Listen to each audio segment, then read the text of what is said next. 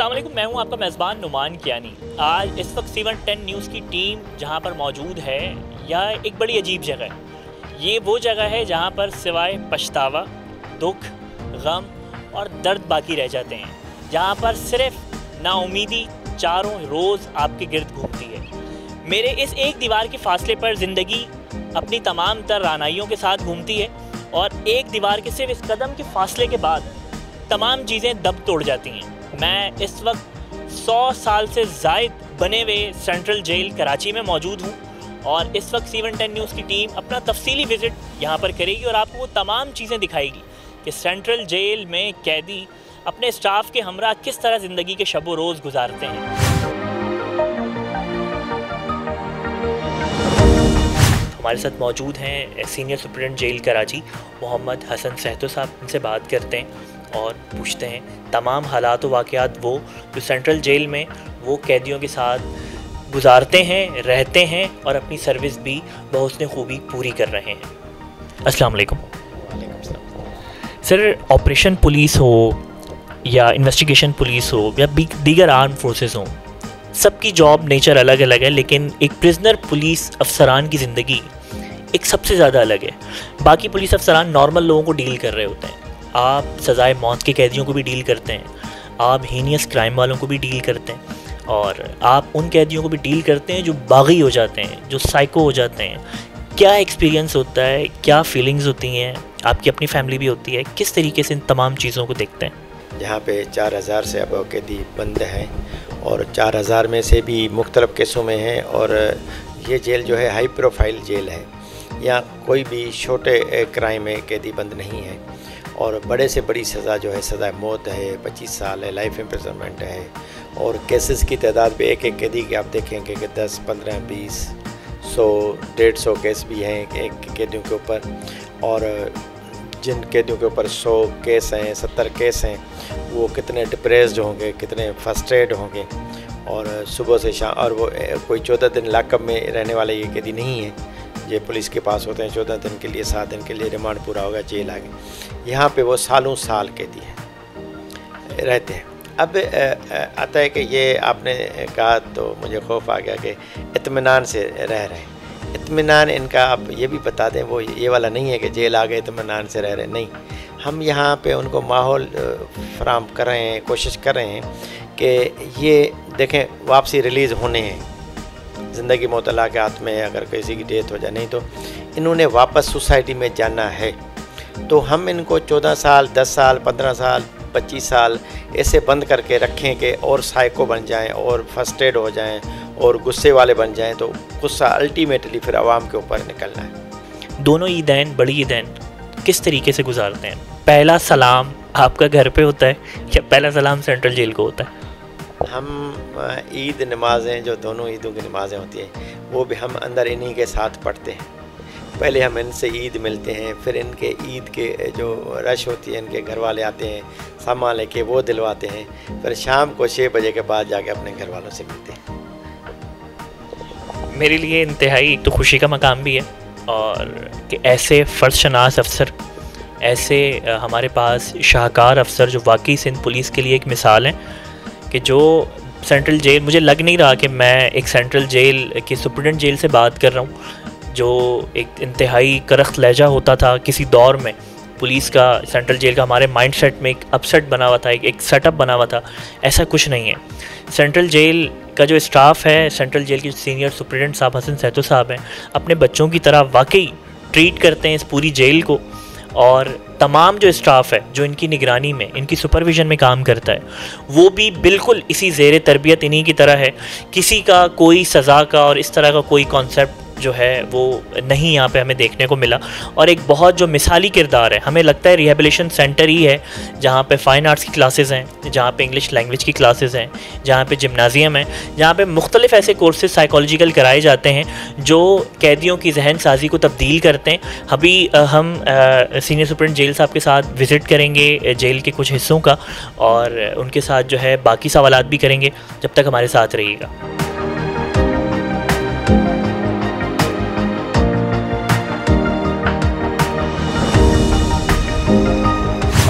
जैसे कि मैंने आपको बताया था कि जेल का मकसद रिहेबलेशन सेंटर का है। हम ऐसी क्लासेस का इनका करा सकें उन कैदियों को जो माशरे में जेल से निकलने के बाद एक फ़ायदेमंद शहरी बन सकें। इस वक्त मैं जो है, आपको लग रहा होगा किसी लाइब्रेरी में खड़ा हूँ और ये हकीकत भी इसी तरह है। ये कंप्यूटर लैब है, जहाँ पर मेरे अकब में जो आप देख रहे हैं बुक्स लगी हुई हैं। पूरा शेल्फ जो है, पूरा फुल ऑफ़ बुक्स है। इसके अलावा जो है ये जो आर्ट गैलरी है, इनके पास जो फ़ोटो गैलरी है 2016, 2011, 2009, 2012, 2013 इन तमाम में जितने सुप्रिटेंट्स यहाँ पर टेन्योर अपना गुजार के गए हैं उन्होंने इसी चीज़ को कंटिन्यू किया है। इस वक्त आ, मैं जिस क्लास में एंटर हो रहा हूँ और यहाँ पर जो है कंप्यूटर ट्रेनिंग सेंटर की क्लास है जहाँ पर सुबह नौ बजे से लेकर शाम पाँच बजे तक क्लासेस दी जाती हैं उन कैदियों को जो अपने आप को डिफरेंट एक्टिविटीज़ में मसरूफ़ रखना चाहते हैं, जिसमें आईटी है फ़ाइन आर्ट्स है जिमनाजियम है इंग्लिश लैंग्वेज है। इस वक्त मेरे साथ ये कंप्यूटर लैब्स पे डिफरेंट एक्टिविटीज़ करते हुए कैदी मौजूद हैं, जिनसे हम बात भी करेंगे और पूछेंगे कि ऐसी क्या वजूहत थी जो एक रोशनी वाला सफ़र छोड़कर आप यहाँ पर हैं। और जब आप यहाँ पर हैं तो यहाँ पर अपनी ज़िंदगी के शब रोज़ जेल स्टाफ के हमरा और बाकी लोगों के हमरा किस तरीके से गुजारते हैं? सर मैं एक्सेल पे शीट बना रहा हूँ। ये ऑटो अपडेट काम करती है। अच्छा। जी मिसाल के तौर पे जैसे ये एम एस वर्ड है। इसमें स्टूडेंट ने नबे मार्क्स लिए हैं। इसमें एटी फाइव नाइन्टी फाइव अभी ये खुद ही टोटल करेगी आगे। अच्छा रिजवान यहाँ पे कितने टाइम से हैं? मेरे को तीन साल हो गए। तीन साल हो गए तो अंडर ट्रायल हैं या सर कन्विक्टेड तो किस उसमें जो है मसला था उसमें पनिश हुई थी। पर कितनी टाइम की क्लासेस करते हैं? कितने कितने टाइम हो गया आपको वर्कआउट करते हुए? मेरे को तकरीबन छः महीने हो गए और यहाँ से एक सर्टिफिकेट जो हमारा पिछले एग्ज़ाम हुआ था उसमें मिल चुका है मैं और अभी मैं ये रिपीट कर रहा हूँ। किसी चीज़ पे कन्फ्यूज़न आ जाता है कोई प्रॉब्लम हो जाता है तो किस तरह यहाँ पे कोई ट्रेनर होता है जो आपको गाइड करता है? सर हमारे ट्रेनर हैं पीछे और वो बेसिकली सही समझाते भी हैं और जो तरीका हमें नहीं समझ आता जो हमारे सवाल होते हैं उसका वो जवाब भी देते हैं। जी बिल्कुल हम यहाँ पर मज़ीद लोगों से भी बात करेंगे। जो मुझे बहुत अच्छा लगा।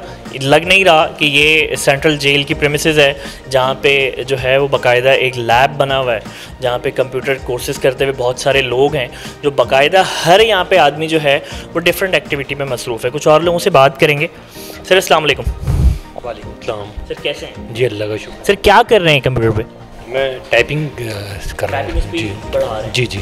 सर कितना टाइम हो गया आपको जेल में? जी यहाँ पे तकरीबन ढाई तीन महीने हुए हैं। तो कितने टाइम से जो है इस एक्टिविटी को कंटिन्यू किया हुआ है? ये पिछले तकरीबन एक महीने से आ रहा हूँ। जी। जेल स्टाफ का रवैया जेल स्टाफ को किस अंदाज से देखते हैं? किस तरह एक गाइडर है टीचर की तरह होते हैं या स्ट्रिक्ट बिहेव होता है? कैसा माहौल होता है जेल का? जी उनका रवैया अच्छा होता है बेहतर है। आ, कहीं पे ज़रूरत पड़ती है तो फिर थोड़ा सा सख्त भी होते हैं क्योंकि ये ज़रूरत है। इस वक्त यहाँ पर जो कैदियों के साथ साथ इनके ऊपर एक मॉनिटरिंग मॉनिटराइजिंग टीचर है, जो इन तमाम चीज़ों को जो है वो कंट्रोल भी करते हैं मैनेज भी करते हैं, उनसे बात करते हैं कि वो यहाँ पर जो है इस तरीके को किस तरीके से मैनेज करते हैं और उन्होंने वॉल्टरली अपने आप को जो है ये कहते हैं ना कि आपके पास कोई भी हीरा है, नेकी है, वो फैलाने से बढ़ती है। तो हम उनसे भी बात करते हैं और जानते हैं कि वो किस तरीके से तमाम चीज़ों को लेके चलते हैं मैनेज करते हैं अपने आप को भी टाइम देते हैं और उनके पास जो गुर है वो दूसरों तक भी बांट रहे हैं। रियान खान कितने टाइम से यहाँ पर हैं और इसका आइडिया किस तरह? जेल स्टाफ ने आपसे कांटेक्ट किया या आपने खुद वॉल्टरली विलिंग किया कि मेरे मैं आईटी में एक्सपर्ट हूँ मैं क्लासेस करूँगा और ये तमाम चीज़ें करूँगा? किस तरीके से ये सेटअप हुआ? बेसिकली मेरी जो रजिस्ट्रेशन एज ए स्टूडेंट थी वो 2016 में हुई थी। तो कुछ कोर्सेज तो मैंने बाहर किए थे। लेकिन मोस्टली जो कोर्सेज़ है वो मैंने यहाँ कंप्लीट किए, जिसमें सबसे पहले मैंने सीआईएस किया। सीआईएस करने के बाद सीआईएस के तमाम प्रोग्राम जैसे एमएस ऑफ़िस है, उनमें मज़ीद क्या क्या चीज़ें इंक्लूड है, वो यहाँ के टीचर्स ने मुझे गाइड किया। फिर 2018 में as a assistant of teacher मेरा अपॉइंटमेंट हुआ था। असिस्टेंट ऑफ़ टीचर अपॉइंटमेंट करने के बाद मेरी ट्रेनिंग हुई। ट्रेनिंग करने के बाद अभी बाकायदा सुबह नौ से शाम पाँच तक मैं यहाँ टीचिंग करता हूँ। अच्छा ये बताइएगा कि इतनी ज़्यादा चमकती हुई और रियल लाइफ को छोड़कर सेंट्रल जेल के अंदर ज़िंदगी के शब रोज़ कैसे गुजरते हैं? और ये भी बताइएगा कि किस जुर्म की पदाश में आप सेंट्रल जेल में मौजूद हैं? सर, मैं बेसिकली मर्डर के केस में हूँ। और तकरीबन आप यूँ समझ ले कि जब से इस सेंटर से मेरा लिंक हुआ है तब से कुछ जहनी जो परेशानियाँ वगैरह थी, वो अल्लाह का शुक्र है, कुछ कम होना शुरू हुई है और कम होती जा रही है। और इन हाई कोर्ट अपील भी है तो अल्लाह से उम्मीद है पूरी कि इन कुछ ना कुछ हो जाएगा। जी, बिल्कुल, कंप्यूटर लैब और यहाँ पर मौजूद लोग और उनके ऊपर मॉनिटर टीचर, उनका लहजा पुरसकून और इतमान बख्श चेहरे बता रहे हैं कि जेल स्टाफ का रवैया और वाकई सेंट्रल जेल हमारे जहनों में जो एक एक खाका बना हुआ होता है कि जेल का नाम आते ही तशद और मार कुटाई और ये तमाम चीज़ें एक ओल्ड रेवल्यूशन आप कह सकते हैं। अब दौर जदीद में इस तरीके का एक्सरसाइज इस तरीके की एप्लीकेशन नहीं है। एक वाकई रिहेबलेशन सेंटर की तरह सेंट्रल जेल इंतज़ामिया काम करती है और तमाम उन कैदियों को उसी तरह ट्रीट करती है ताकि वो वापस माशरे में जाकर अपनी ज़िंदगी को एक नए अंदाज से गुजार सकें। हम आपको दूसरे सेंटर्स का भी विज़िट कराएँगे, जहाँ पर इंग्लिश लैंग्वेज क्लासेस हैं और दूसरी क्लासेस चल रही हैं, जहाँ पर लोग मुख्तलिफ़ टेन्योर के अंदर जब एक वक्त में एक क्लासेस कर रहे होते हैं, दूसरे वक्त में उसी ग्रुप को शेड्यूल करके दूसरी जगह पर कन्वर्ट कर दिया जाता है। आइए हमारे साथ चलिए। कंप्यूटर सेंटर विज़िट कराने के बाद अब हम जिस क्लास में दाखिल हो रहे हैं, ये इंग्लिश लैंग्वेज की क्लास है, जहाँ पर इस वक्त भी लैंग्वेज की क्लास चल रही है।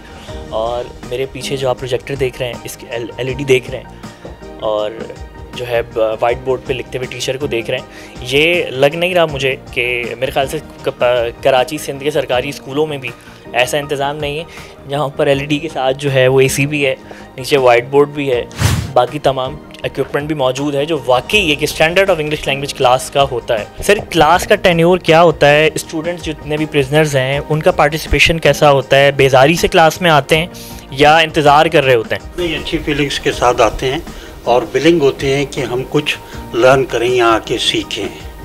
क्योंकि माजी में जो भी इनका वक्त गुजरा, जैसा भी गुजरा है, लेकिन इन फ्यूचर अब ये चाहते हैं कि अपनी ज़िंदगी बेहतर तरीके से गुजारें। तो जो लोग इंग्लिश में इंटरेस्टेड होते हैं वो इस क्लास में आते हैं और इस क्लास को अटेंड करते हैं और अलहमदिल्ला सीख के जाते हैं। पर यानी कि हम ये कह सकते हैं कि सारे बिज़नेस बाहर जाएँगे तो सब अंग्रेज़ी बोलेंगे। इन शाला इन शाला इनशाला इनशाला अच्छा बाकी स्टूडेंट्स भी जो है वो क्लास ले रहे हैं, हम उनको डिस्टर्ब नहीं करेंगे और हम जो है आप लोग कंटिन्यू रखें लेक्चर बिल्कुल, इस वक्त हम एक सीनियर प्रिजनर के साथ मौजूद हैं, जो इंग्लिश लैंग्वेज आईटी क्लास और जो सोशल आर्ट्स का जो पूरी गैलरी है, उसके इंचार्ज हैं, जिनको 18 साल इस जेल में हो गए। और हम उनसे जानते हैं और पूछते हैं कि उन्होंने अट्ठारह सालों में अपनी एक्टिविटीज़ को अपना जो कुछ उनके पास था, चाहे वो एजुकेशन थी, अच्छे अखलाकियात थे, अच्छे लेसन्स थे, उनको इस तमाम चीज़ों में किस अंदाज से सर्व किया है, ये सारी बातें हम आपको उन्हीं की मुजाबानी बताएँगे। सर, कैसे अट्ठारह साल एक उम्र का एक अच्छा खासा पीरियड होता है और बड़ा मेच्योर पीरियड होता है? और अभी भी काले बालों से झाँक के सफ़ेद बाल बता रहे हैं कि अभी भी जवानी है। तो इस सारे टेन्योर में किस तरीके से अपने आप को यूटिलाइज़ किया? किस तरीके से कैदियों को जो थे, जो मोटिवेशन किया? किस तरीके से? मैंने कोशिश की शुरू दिन से जब मैं आया तो लाजिम ज़िंदगी में चैलेंजेस आ जाते हैं हादसा आ जाते हैं। तो फाइट बैक करने की कोशिश की और कोशिश की कि शुरू से मसरूफ़ रखूँ अपने आप को। तो जैसे ही मैं यहाँ आया तो मैंने ये उस वक्त भी चल रहा था। तो ज्वाइन किया, फिर उसके बाद इसकी जिम्मेदारियाँ मुझे मिल गई और तालीम को इम्प्रूव किया अपनी। और नए लोगों को ट्रेन किया।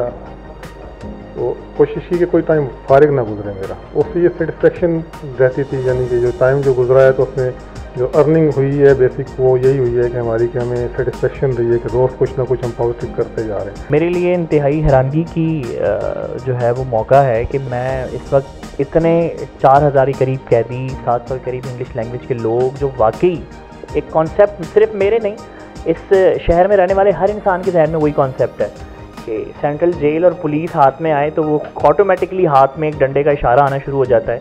ऐसा नहीं है। दौर जदीद के साथ बहुत सारी चीज़ें तब्दील हुई हैं।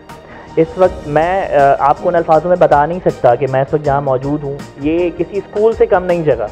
मुझे यहाँ पे कहीं भी बाड़ें और वो करख चेहरे नज़र नहीं आ रहे। यहाँ के चेहरों पर इतमान है। यहाँ के चेहरों पर सुकून है। यहाँ के लहजों में शाइस्तगी है, वो शायद इसी वजह से है कि उनके पीछे सेंट्रल जेल की इंतज़ामिया और सुप्रिंट जेल सहतो साहब का शफकत और इंतज़ामिया की मोहब्बत है, जो इन इतमान बख्श शेरों के पीछे, जो आज भी जेल इंतज़ामिया के थ्रू मैसेजेस और पैगाम भिजवाते रहे हैं। ये मेरे ख्याल से दुनिया भर की उन जेलों के लिए जहाँ पे हम रह के मिसालें देते हैं कि यूके और लंदन और अमेरिका की मिसालें देते हैं, ऐसी मिसालें हमारे अपने पाकिस्तान में भी मौजूद हैं। सिर्फ़ देखने के लिए हुस्न नज़र चाहिए।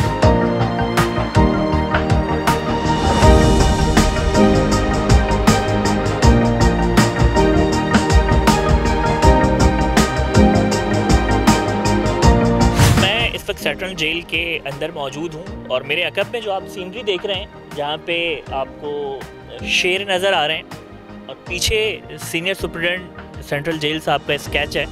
जिन्होंने एक शेर के ऊपर साया शफकत रखा हुआ है। इस इस सीनरी के पीछे, इस पूरी गैलरी के पीछे क्या लॉजिक है, क्या केमिस्ट्री है, वो हम senior superintendent jail Hasan Sahto साहब से पूछेंगे कि एक शेर जो हमें दहाड़ता हुआ तस्वीर में दिख रहा है, बाकी शेर के सर पे आपने साया शफकत रखा है, ये जादू वाला हाथ जो है, इसके पीछे पूरी लॉजिक है, वो हमें खुद समझाएँ। थैंक यू अब ये मेरा कॉन्सेप्ट ये है कि ये हैं तो शेर। हैं तो खून खार और इनमें दहशत भी है, ठीक है। हमारे पास जैसे पहले दिन ये आते हैं, शुरू शुरू में जब तक इस माहौल में एडजस्ट हो तो ऐसे हमें डालने की ये कोशिश करते हैं, वो डाल लाए। और डालने के जो है ना, इनके पंजे भी लगते हैं, इनका हमें ज़ख्म भी होता है। कोई कोई ज़ख्म तो ऐसा है कि हमारे दिल तक पहुँचता है, ठीक है। जब ये पुराने हो जाते हैं तो ये देखें, फिर शांत के साथ बैठे हुए हैं, सुकून के साथ बैठे हुए हैं हमारे पास। तो इस तस्वीर का कॉन्सेप्ट जो है, इसके पीछे जो है, वो मेरा यही कॉन्सेप्ट है। बिल्कुल, वाकई ये लॉजिक मेरे वहमो गुमान में नहीं थी कि वाकई जब शेर अपनी असली हालत में होता है तो धाड़ता भी है। लेकिन अच्छे अखलाकियात अच्छा नज़म ज़ब्त हमेशा एक किसी भी चीज़ को दरिंदे को इंसान बना सकता है।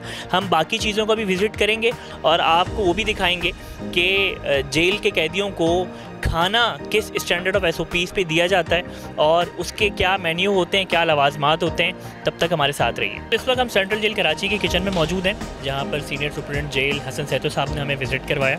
और यहाँ पर हमें, मैंने खाना भी ट्राई किया, क्योंकि आज जिस दिन हम यहाँ पर आए हैं तो यहाँ पर आज चिकन कौरमे का देना है, जो मेन्यू का देना है, और यही मेन्यू पूरे सिंध की जितनी जेलें वहाँ पर फॉलो होता है। बे इंतहा साफ़, सुथरा इंतज़ाम है। प्रॉपर एसओपी के साथ जो है यहाँ पर काम करने वाले वर्कर्स जितने हैं, वो तमाम एसओपी प्रॉपर किट का ख्याल रखते हैं। और इस वक्त मेरे साथ यहाँ पर इंचार्ज मौजूद हैं। पूरे इस किचन के इंचार्ज हैं। उनसे पूछते हैं कि किस तरीके से मैनेज करते हैं, क्योंकि 24 घंटे जो है, तीन टाइम का खाना यहाँ बनता है। फ़ी कैदी को पाँच रोटियाँ और सुबह नाश्ते में इसके अलावा अलग दिया जाता है। उनसे हम पूछते हैं कि किस तरीके से मैनेज करते हैं, क्या तरीक़ेकार होता है और किस तरीके से इस पूरे इंतज़ाम को लेके चलते हैं। ये सर, यहाँ पे तीन शिफ्टें चलती हैं। यहाँ पे जो नाश्ता बनाते हैं, वो अलहदा काम करते हैं। तीन घंटे, फिर चार घंटे ये लगे होते हैं। बारह बजे तक करते हैं, जो बारह बजे का खाना देते हैं। फिर चार घंटे ये लगे हुए अभी शाम का खाना देंगे ये लोग। इसी तरह से ये सब मिल के करते हैं जो। अच्छा इसके अलावा आपके यहाँ पे वर्कर्स कितने हैं जो रोटी बनाने वाले हैं जो खाना बनाने वाले हैं? ये टोटल हमारे पास 110 लोग हैं। इनमें से तकरीबन 25 रात को काम करते हैं 50 एक काम करते हैं 50 दिन में काम करते हैं। चार चार घंटे की इनकी शिफ्ट है। जो नाइट वाले हैं, वो तीन घंटे की शिफ्ट पे काम करते हैं। सबकी अलग अलग तनख्वाह है इनको। ठेकेदार तनख्वाह देता है, सरकार ने मुकर की हुई है। हर बंदे के अपने काम के हिसाब से तनख्वाह है इनकी। बिल्कुल, हमारी इंचार्ज साहब से बात हो रही थी। उनका भी यही कहना था कि किसी भी किस्म की कोई परेशानी नहीं होती। बाकायदा पूरा स्टाफ काम करता है, जिनको गवर्नमेंट की तरफ़ से तनख्वाह आती है, जो ना सिर्फ़ अपना आप को जो है चला रहे हैं, अपने आप को जो है अपना, अपनी कफालत कर रहे हैं, बल्कि जेल में, कैद में रहते हुए भी अपनी फैमिली की भी कफालत कर रहे हैं।